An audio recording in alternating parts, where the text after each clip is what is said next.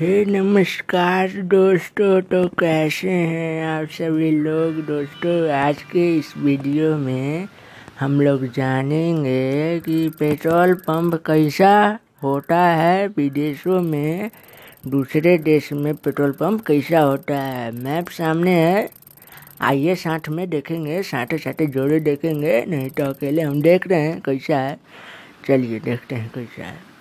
यहाँ पर डीजल जैसा यहाँ पर रखा हुआ है पेट्रोल पंप। यहाँ से निकालिए, गाड़ी में भरिए। यहाँ पर देखिए, यहाँ पर क्या करना है आपको कि यहाँ पर पैसा डालना है, सीधा। यहाँ पर आदमी नहीं मिलेगा आपको भरने के लिए। आ गए, सचिन, आदमी हो कहाँ है? बुलाते हैं तो नहीं हो पाएगा। आदमी नहीं रहता इसमें। इसमें आपको पैसा डालना होता है। पैसे डालिए, जितना चाहिए और उसके बाद अपना इंटर कर दीजिए, गाड़ी में भर लीजिए। बस इतना ही है इसमें। ऐसे ही सब में भरा जाता है। अब सोचिएगा कि आदमी तो आदमी नहीं रहेगा। यहाँ पर देखिए सिलेंडर रख ले है। इंडिया में क्या होता है कि बालू रख ले रहता है बाल्टी में। यहाँ पर सिलेंडर रख ले और आग लगाएगा। बाप रे बाप। यहाँ देखिए, बगले में ए टी एम है। वाह, क्या सुविधा है। देखिए ए टी एम है। आई कटी है वो ये कपड़ा कटी है।